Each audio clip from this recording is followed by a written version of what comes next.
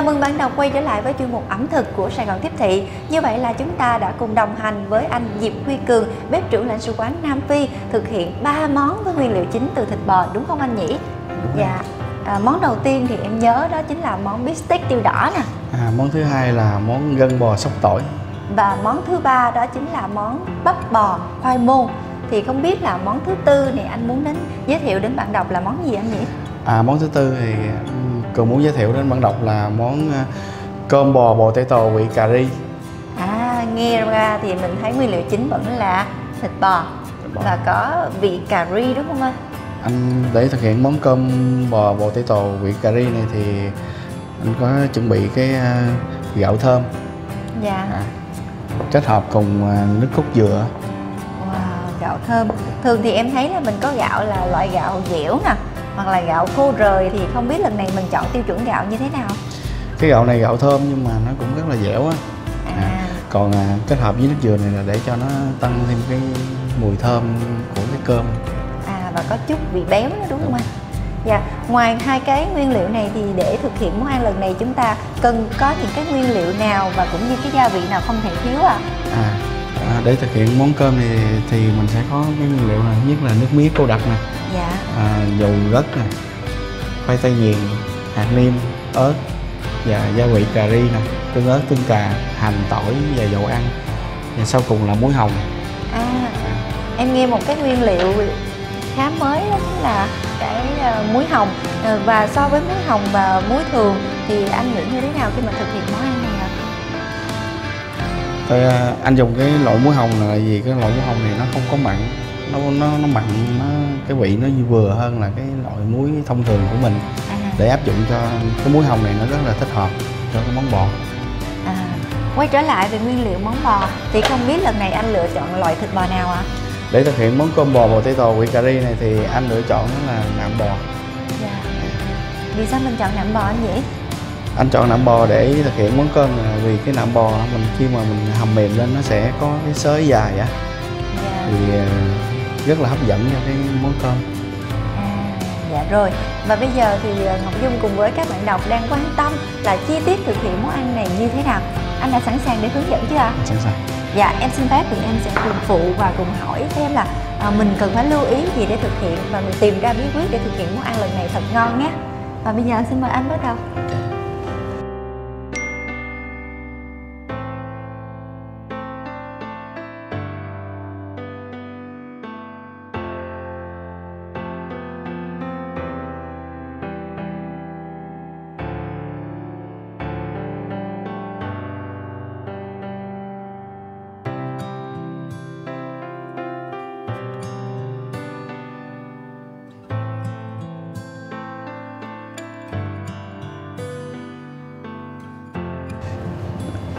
trước tiên thì à, mình sẽ sơ chế thịt bò ha. Dạ sơ chế thịt thịt bò bò. này thì mình sẽ cắt khối to.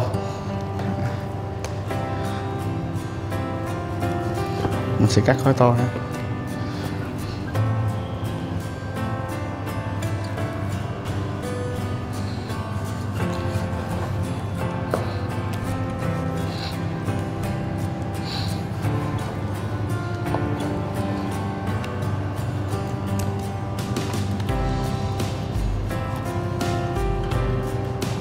cơ bản thì thịt bò em thấy anh đã Ok. hoàn thành. Rồi mình sẽ cho nguyên liệu vào đây. Dạ. Rồi. đầu tiên là nguyên liệu nào anh nhỉ? Gia vị. À, bây giờ mình sẽ cho thịt bò vào tô ha. Dạ.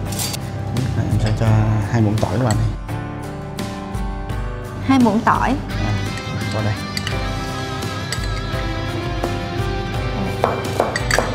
Được chưa hả anh? rồi cho một muỗng rưỡi hạt niêm muỗng rưỡi hạt nêm dạ như thế này là một muỗng đúng không anh? Rồi dạ. cho vào đây một muỗng tương cà một muỗng tương cà muỗng tương ớt. Và một muỗng tương ớt. Dạ đây.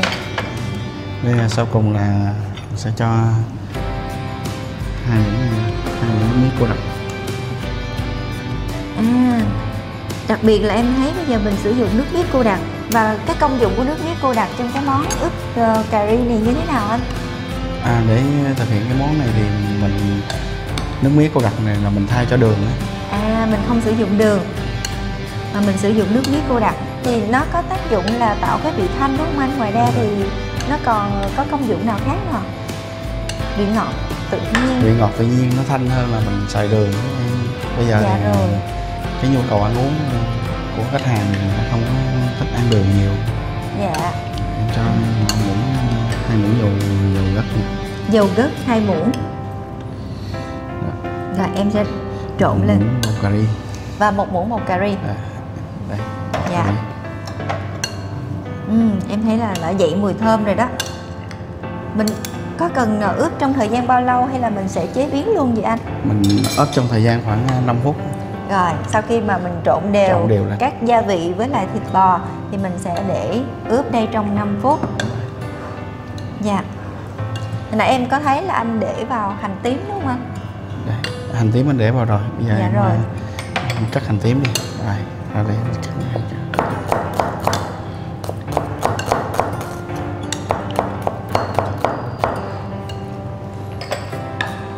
nếu mà mình vô tình mà mình ờ, quên nguyên liệu hành tím thì mình có thể thay bằng các loại hành khác được không anh?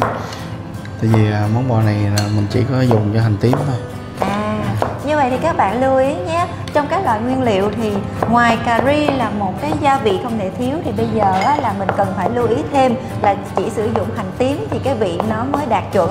Và kết hợp thêm là hiện nay thì xu hướng mọi người là thích cái vị thanh mát tự nhiên và không dùng nhiều đường. Vì thế là mình có thể thay thế bằng cái là nước mía cô đặc.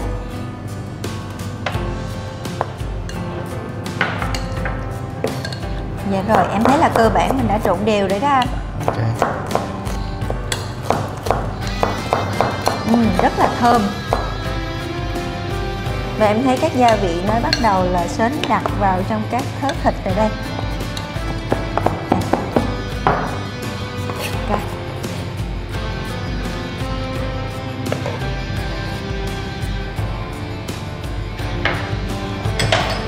Dạ, tiếp tục mình làm gì hả anh?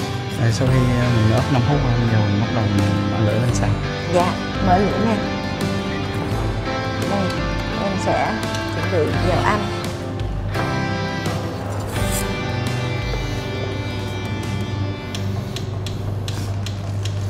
Cũng như là những lần khác khi thực hiện món ăn thì em luôn quan tâm về độ lửa Thì ngay từ đầu là mình sử dụng lửa vừa hay là lửa to ạ?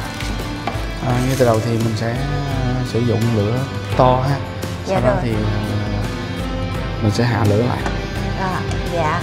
Lấy giúp anh cái sạn gỗ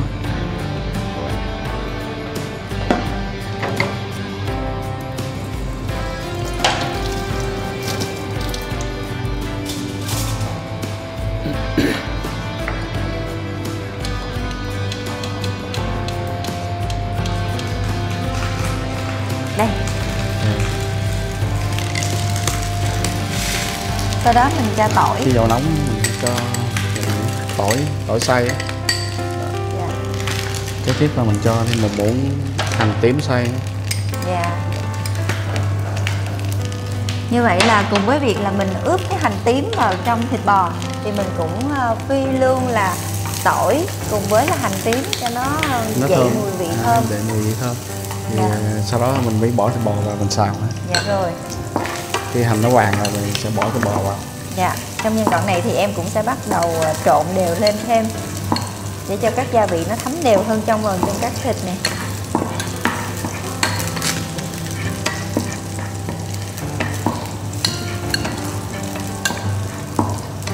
rồi Đây, dạ. giờ mình sẽ bỏ thịt bò vào xào dạ. cho nó săn lại Lúc này là mình đã chỉnh về lửa nhỏ rồi đúng không anh? đúng rồi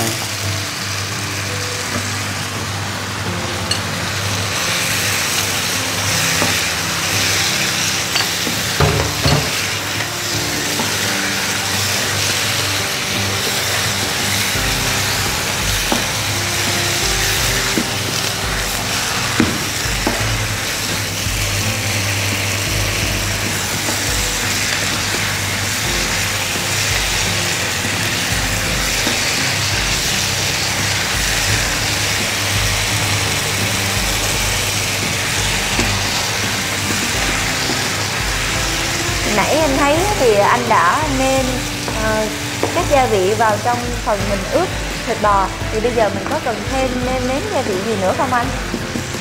Khi là xào thịt săn rồi thì mình sẽ đổ nước vào. Đổ nước à. vào thì thịt nó gần mềm. Mình mới cho gia vị vào. Dạ rồi đổ nước vào. Không có lấy chén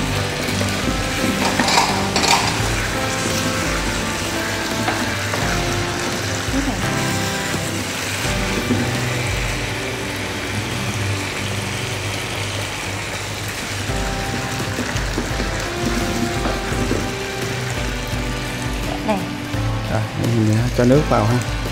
Mình canh khoảng bao nhiêu thì vừa anh? Khoảng một chén hay không ạ? À? à mình đổ khoảng 200 ml nước ha.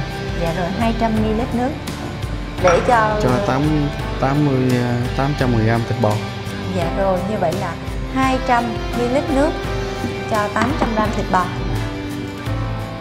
Wow. rồi mình sẽ hầm trong vòng 25 phút. Dạ với cái hầm 25 phút này thì mình sẽ canh cái lửa như thế nào lửa vừa xăm xắp hay là lửa to luôn anh hay là lửa nhỏ là mình sẽ canh với cái độ lửa vừa sôi thôi dạ rồi vừa vừa vừa phải à, vừa phải 25 phút thì trong quá trình chờ đợi này mình à, sẽ bắt đầu là cũng thực hiện là bắt cơm lên đúng không anh? Đúng rồi. Giờ dạ. khi mà mình chờ bò mềm thì công đoạn tiếp theo là mình sẽ bắt cơm. Dạ rồi.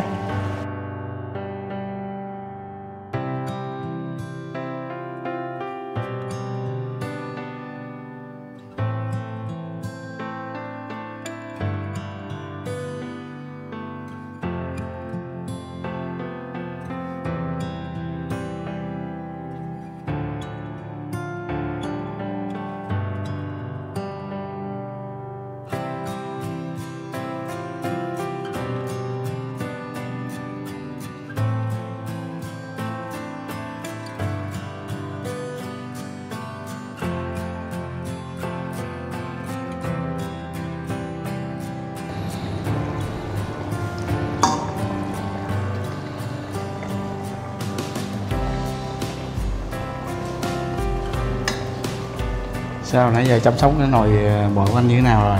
Ồ em thấy là nước nó bắt đầu sệt lại rồi đó anh. Wow. Dạ. nó nhìn vừa đẹp lại bắt mắt như thế này. Em cứ nghĩ là món thịt bò đã làm cho em rất là cuốn hút rồi đó. Bây giờ vừa thơm mùi nè dậy vị mà lại bắt mắt nữa.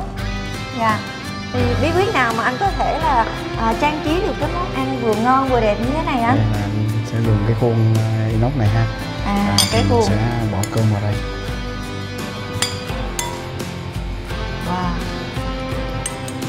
đều có bí quyết hết luôn và mình sẽ ép nó ha. Dạ. Ép cho thật là chặt. Dạ.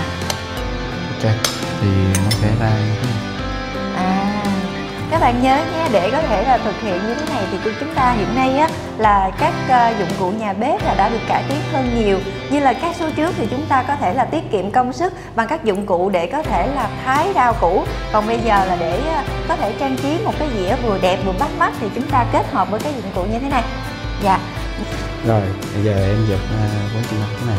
Dạ. để anh múc bò trang trí lên cái đĩa rồi dạ rồi em rất là sẵn lòng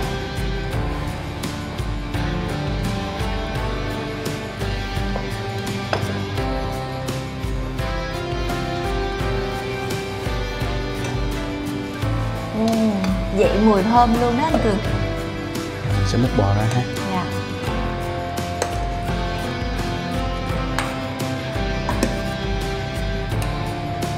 À, Hấp dẫn quá. Rồi, sau này mình sẽ trang trí lên món ăn Dạ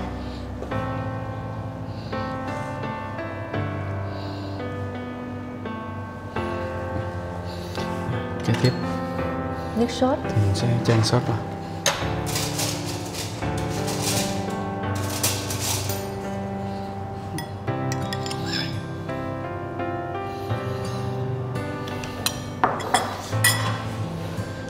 Theo thì nó không thể thiếu khoai tây ha.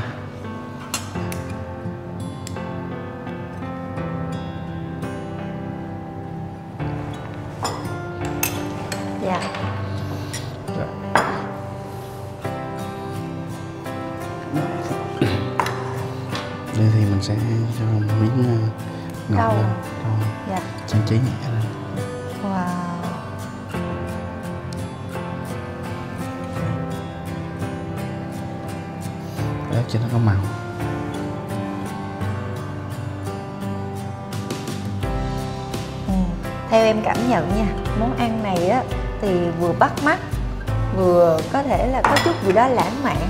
Thì không biết là mình sẽ ờ, thưởng thức món ăn này vào trong dịp nào anh nhỉ? À, thưởng thức ờ, mình sẽ làm món ăn này trong dịp như là ngày tết hoặc là ngày lễ gì đó. Dạ hoặc là À, trong các trong ờ, các cái bữa tiệc là hội ngộ gia đình. Dạ hoặc là dành cho các cặp tình nhân em thấy cũng khá là phù hợp đó anh. Ok.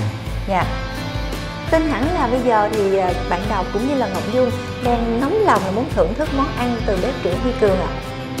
Hôm nay dạ.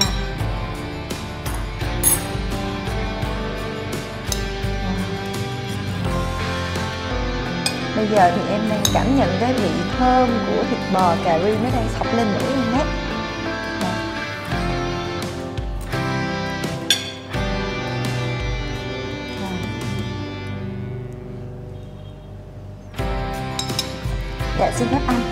Và mời các bạn chúng ta cùng bắt đầu thưởng thức nhé.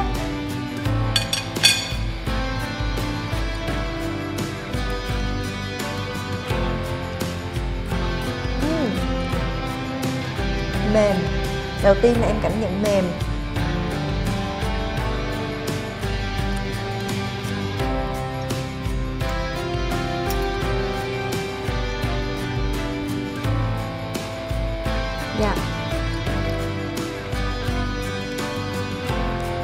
Cường thân mến, sau khi mà em thưởng thức món ăn này á thì em có cảm nhận là thịt bò nó mềm tới nè, không có dai và làm cho em có cảm giác là em thưởng thức được một cái hương vị cà ri, cà ri bò hoặc là cà ri gà, gà của Việt Nam Ờ, kết hợp với một cái hương vị gì đó rất là lạ và đặc biệt thì anh có thể chia sẻ hơn về điều này hay không ạ?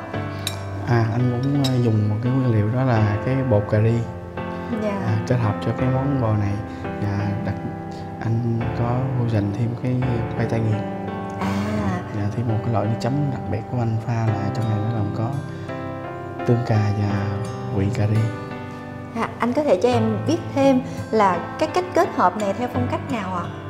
à cái, cái cách kết hợp này theo phong cách à, Á Âu nhưng mà anh vẫn giữ được một cái vị của Việt mình nhiều hơn À, bạn thân mến, như vậy là khi mà thưởng thức món ăn này thì chúng ta sẽ sẽ có thưởng thức hương vị quen thuộc của người Việt kết hợp một chút lạ miệng hấp dẫn của châu Âu. Như vậy thì chúng ta sẽ không có quá ngán nhưng mà vẫn có sự cuốn hút rất là lạ. Và theo Dung cảm nhận nữa thì cái món cà ri này nó không có quá cay Vì thế là rất dễ để mọi người có thể thưởng thức món ăn này chung lại với nhau Từ đó thì cảm giác nó sẽ ấm áp và hòa quyện nhiều hơn và một lần nữa thì xin cảm ơn à, bếp trưởng Diệp Huy Cường đã hướng dẫn chi tiết đến bạn đọc. Và một lần nữa thì cảm ơn các bạn đã quan tâm theo dõi đồng hành với chúng tôi trong thời gian vừa qua. Chúng tôi xin à, thân ái cảm ơn và hẹn gặp lại trong những kỳ phát sóng tiếp theo.